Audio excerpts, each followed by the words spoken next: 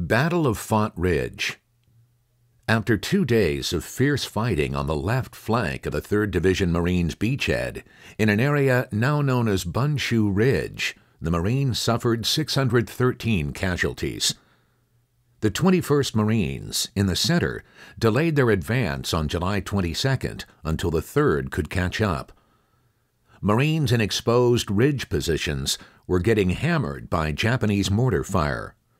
The barrage was so intense that Colonel Arthur H. Butler, in charge of the regiment, called up the Division Reserve to replace the 1st Battalion with the 2nd.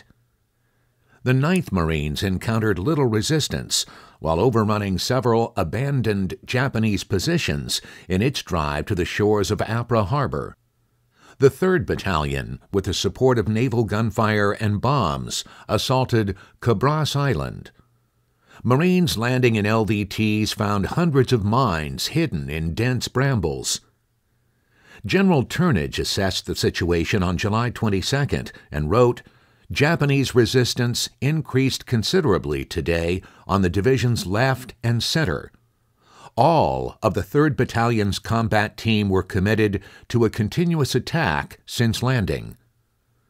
The 21st CT combat team has been relieved by Division Reserve. Former is 40% depleted. Any further advance will continue to thin our lines. It now appears that an additional combat team is needed. The 9th is fully committed to the capture of Cabras and Piti. Urgently recommend an additional combat team be attached to this division at the earliest possible time. Turnage was refused the additional combat team he sought. The night of W plus one was fairly quiet in the 3rd Division sector, except for the 121 Marines, who repulsed a Japanese counterattack complete with a mortar barrage and followed by a bayonet charge.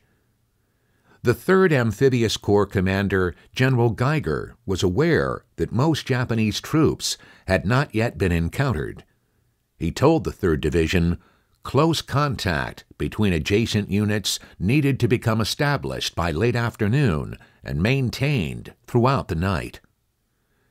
Despite orders to close gaps and keep contact, the 3rd Division was spread too thin to hold. When they halted for the night, they realized the distance between the units had widened.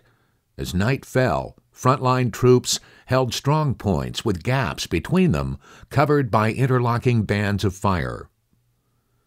The 3rd Marines reached the high ground of Bundschu Ridge on the 23rd.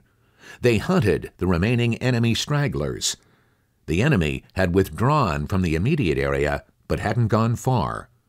When the 21st Marines patrols tried to link up with the 3rd Marines, they were pushed back by fire from cleverly hidden machine guns nearly impossible to spot in the underground and rock strewn ravines. All along the ridges that the Marines held were stretches of deadly open ground that completely blanketed enemy fire from higher positions. On the night of the 23rd, the 9th Marines advanced through open territory dotted by hills, each of which a potential enemy bastion. Patrols sent south along the shoreline to contact the 1st Brigade took fire from the hills on its left flank. They also ran into a concentration of American artillery and naval gunfire directed at the enemy defenders on Orote. The patrol was permitted to turn back. On the 29th, the 3rd and 21st Marine Regiments finally made contact on the heights, but the link up was an illusion. There were no solid front lines, only strong points. No one could be certain that the Japanese had all been accounted for, but the areas that had been probed and attacked now seemed secure. Every rifleman knew that much of the same lay ahead. They saw their next objective on the horizon to the front on the Mount Tenjo Road that crossed the high ground, framing the beachhead the division had already suffered over 2,000 casualties, the majority in the infantry units. The Japanese, who'd lost just as many, if not more men in the North alone, showed no signs of abandoning their ferocious defense. General Takashina gathered his forces to prepare an all out counterattack as Marines were advancing to their first objective on the FBHL, Force Beachhead Line, securing the high ground and linking up the two beachheads. Takashina had been bringing his reserve troops into the rugged hills along Mount Tenjo Road since the American landings. He called in his reserves from scattered positions all over the island. By July 25th, W Day plus four, he had over 5,000 men, mostly made up of the 10th Independent Mixed Regiment, in position and ready to attack. The fighting on the 25th was as intense as any since the Marines invaded. The 2 9 Marines were attached to the 3rd Marines to bring a relatively intact unit into the fight and give the battered 1 3 Marines a chance to recover. By nightfall, the 2 9 Marines had driven a wedge into the Japanese lines and took Mount Tenjo Road. They were only 400 yards short of reaching their objective at Font. Throughout the relentless firefights, the 3rd Marines blasted and burned their way through barriers of enemy cave defenses. They finally linked up with the 9th Marines on the left. At 1900, Company G of the 9th Marines pulled back 100 yards to position themselves forward of the road, giving them a better observation and field of fire. Company F reached an occupied rocky prominence some 150 yards ahead of Company G in the center, while they also pulled back for a better defense. The scene was set for a pitched battle on Font Ridge.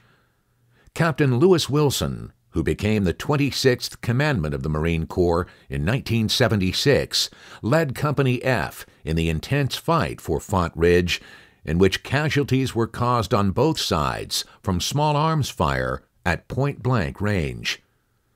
Captain Wilson was awarded the Medal of Honor for his leadership, doggedness, and organizational skill under fire. Wilson was wounded three times while he led attacks into the core of the fought action. Part of his citation reads In fierce fighting and hand to hand encounters, he led his men in a furiously waged battle for 10 hours and tenaciously held his line and repelled fanatic counterattacks from the Japanese until he crushed the last efforts of the hard pressed enemy. Captain Wilson led and organized the 17 man patrol that climbed the slope in the face of the continuous enemy fire, seizing Font's critical high ground. Colonel Fraser West recalled the battle for Font Ridge as brisk, bitter, and close.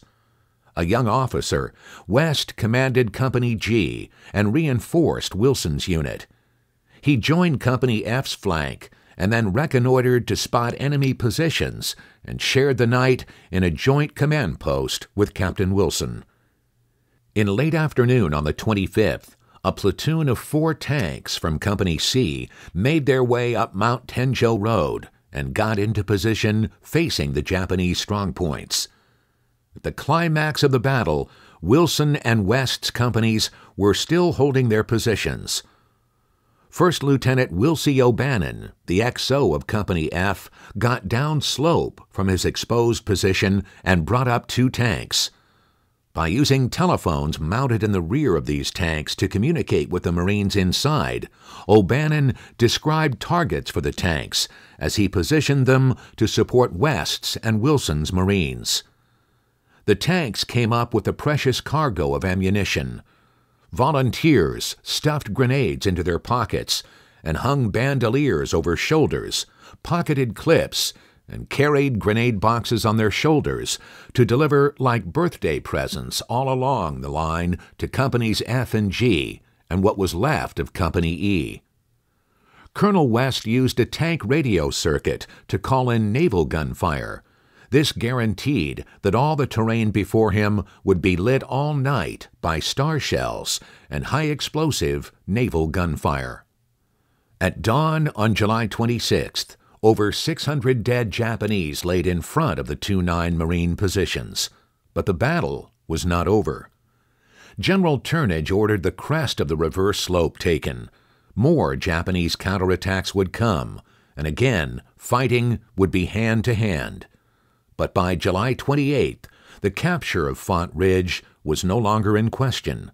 Companies E, F, and G took their objectives on the crest, costing the battalion 242 casualties in four murderous days. The 21st Marines did not have it any easier on the 25th. After a hard morning of fighting, they were able to clear the front in the center of the line. The 221 Marines dealt with similar pockets of die-hard enemy soldiers, like those that held up the 29 Marines on Font. Hidden in cave positions on the eastern draw of the Asan River, inland from the beachhead. The Japanese were destroyed only after repeated Marine assaults and close in fighting. According to the official Marine Corps history of the campaign, every foot of ground that fell to the Marines were paid in heavy casualties, and every man available was needed in the assault. The 9th Marines made good progress on the 25th and reached their objective of the Sasa River by 0915. The 9th Marines had even taken more ground than was planned. From there, General Turnage repositioned the 9th Marines to support the fighting on the struggling left flank. The 2nd Battalion pulled out of position to reinforce the 3rd Marines, and the remaining two battalions spread out a little further in their position. A determined enemy attack hit the 3rd Division Marines on the night of July 25th. The intensity of the Japanese counterattack was matched across the 3rd Division's front. It wasn't long before Japanese troops roaming the rear slipped into Marine perimeters and snuck downstream into valleys and ravines leading to the beaches. Major Henry Aplington II commanded the 1st 3rd Marines, the only infantry division. His Marines held positions on the hills of what had been a quiet sector he wrote, Heavy rain came when it got dark. On the line, Marines huddled under ponchos in their wet foxholes, trying to figure out the meaning of the obvious activity by the Japanese. Near midnight, the Japs were probing the 21st Marines' lines and sloping over into those of the 9th Marines. All was quiet in our circle of hills, and we received no notifications when the probing increased its intensity or at 0400 when the enemy opened their attack. My first inkling came at about 0430 when my three companies on the hills erupted into fire and called for mortar support. I talked to the company commanders and asked them what was going on, only to be told that the Japs were all around them. The enemy was close. Three of my dead had been killed by bayonet attacks. Private Dale Fetzer was a dog handler assigned to the 1-9 Marines with his black Labrador retriever. His dog Skipper was asleep in front of his handler's foxhole. Suddenly, Skipper bolted upright. His nose pointed up and toward Mount Tenjo. Private Fetzer shouted, Get the lieutenant! The Japs are coming! Japanese troops poured down the slopes at 0400 in a furious banzai attack. The enemy had been sighted drinking during the afternoon in the higher hills, and now some appeared drunk. The 21st Marines were along a low ridge close to Mount Tenjo Road. The banzai charge smashed against the 3rd Battalion, and the enemy seized a machine gun position, quickly recaptured by Marines the 3rd Division held a thin front on the right flank of the 21st Marines and to the left of the 9th Marines. Some of the Japanese raiders got through the sparsely manned gap between the battalions. The Japanese charged fearlessly at the artillery, tanks, and ammunition supply dumps. Their attack was scattered and unorganized, but fighting was brutal and shattered the hastily erected Marine roadblock between the battalions. Some attackers got through the lines along the front. Fifty enemy troops reached the division hospital. Doctors evacuated the gravely wounded, but the walking wounded joined stretcher bearers, cooks, bakers, and corpsmen to form a line fighting off the attackers. One of the walking wounded, Private Michael Ryan, ran with a wounded foot through crossfire to join the line and help fight off the enemy assault. Colonel George Van Orden assembled two companies of the 3rd Pioneer Battalion to eliminate this threat. Marine pioneers killed 33 enemy troops in less than three hours and only lost three of their men. The 3rd Medical Battalion took 20 casualties, but only one patient was killed in the fighting. For many men in this furious and confused melee breaking out over Marine positions, Corporal Charles Moore's experiences weren't unique. His outfit held a position along a quarter mile from Font Plateau. He later wrote, We set up on the road that made a sharp turn overlooking a draw. It was 2nd Platoon's last stand. Three attacks that night, and by the third, no one was left to fight, so they broke through. They came in droves, throwing hand grenades, and hacked up some of our platoon. In the morning, I had only 10 rounds of ammo left and half the clip for my BAR. I was holding those rounds back in case I needed them to make a break for it. Everyone was quiet, either wounded or dead. The Japs came in to take out their dead and wounded steps from the edge of my foxhole. I held my breath. I watched them as they milled around until dawn, and then they left. With the seizure of Font Ridge, the capture of the beachhead was now complete. The 3rd Division fought bravely throughout the bloody night until they finished off the determined Japanese enemy on Guam. What made the fighting for Font important was the fact that the advance to the north end of the island could not take place until Font Ridge was seized and held. The enemy attack also failed in the south, although it was touch and go at times. However, Japanese sailors on Orote were just as committed as the soldiers on Font to drive the Allies from Guam.